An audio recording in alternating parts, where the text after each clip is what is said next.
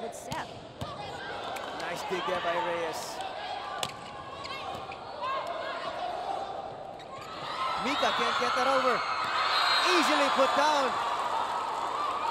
And Florito Meralco asking for an overreaching there from Petron, pero none is called by the first referee. A timeout will be called here by Meralco. Just when it seemed like they were going to sail smoothly to a first set win, isa na lang ang kanilang lamang. One, two, three.